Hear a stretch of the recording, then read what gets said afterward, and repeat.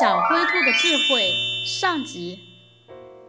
森林里住着一只快乐的小灰兔，它非常乐观。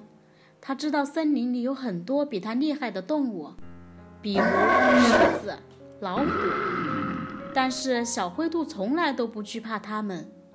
这天，小灰兔像往常一样，嘴里哼着小调，蹦蹦跳跳地去小溪边喝水。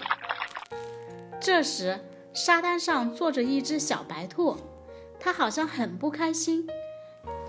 于是，小灰兔走到小白兔身边，小灰兔关心地问：“小白兔，你是身体不舒服吗？还是有什么不顺心的事呢？”小白兔摇了摇头说：“我身体没有不舒服，就是感叹命运太不公平了。你难道不觉得？”在所有的动物中，我们兔子是最不幸的吗？小灰兔笑着说：“我生活的很快乐，怎么会不幸呢？”